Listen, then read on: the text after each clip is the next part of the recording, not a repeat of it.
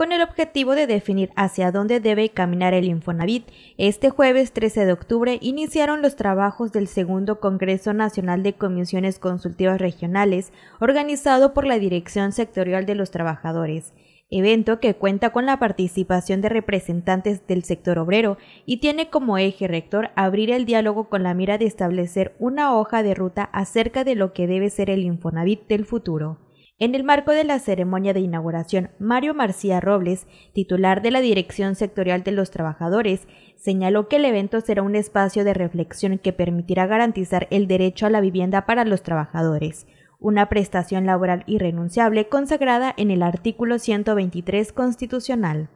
Entre los temas a abordar se encuentran cuestiones como la calidad de la vivienda y el tripartismo,